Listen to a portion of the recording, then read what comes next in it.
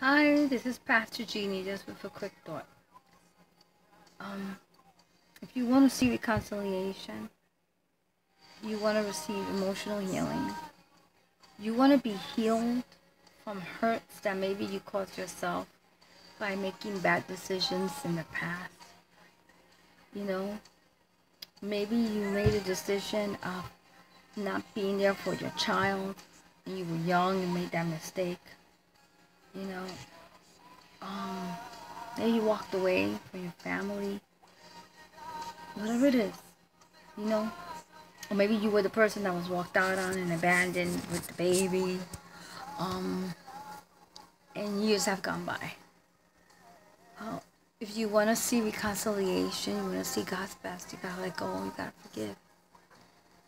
You know, I speak this of experience.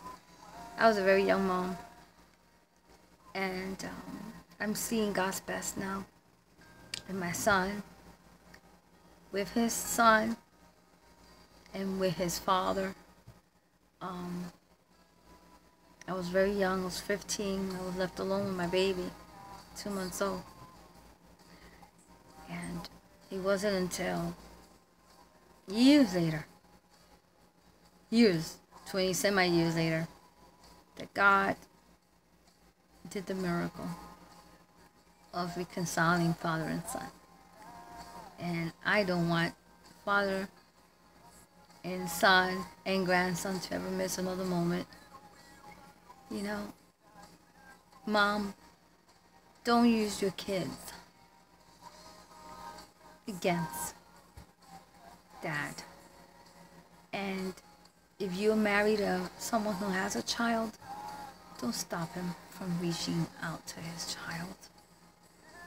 And if you were walked out on, then it happened years ago. Let it go. Enjoy the grandkids. Enjoy the moments. There's so much forgiveness that comes from God into our hearts as He forgives us. And reconciliation brings a joy, an unexplainable joy. That's what God wants. He wants to heal everyone everywhere it hurts. Amen? So, what matters is today. That what happened 20 years ago, 29 years ago, 30 years ago, yesterday. What matters is today. Think on that and enjoy. God has the best in mind. He's got a plan. He's got a plan. At the end of it all, he works it all for the good of all of those involved.